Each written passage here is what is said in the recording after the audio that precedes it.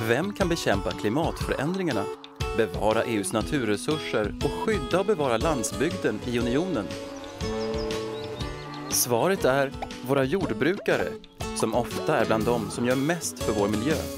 De jobbar hårt för att över 500 miljoner EU-invånare ska få mat samtidigt som de måste ta itu med konsekvenserna av klimatförändringarna. Lantbrukarnas arbete skapar fördelar för alla.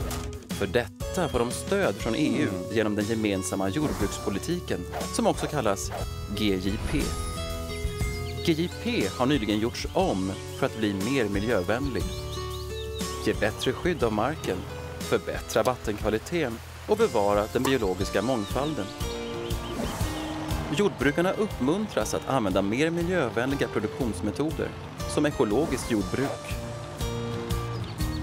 Stora satsningar på forskning och teknik gör det lättare för jordbrukarna att använda nya innovativa metoder som ger oss ett miljövänligare jordbruk.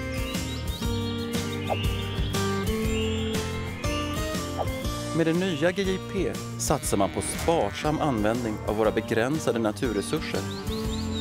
Det behövs, både för att vi ska få nyttig mat som är bra för hälsan och för att vi ska få en bra livskvalitet. Idag, imorgon och för kommande generationer. Europas gemensamma jordbrukspolitik. Ta hand om våra rötter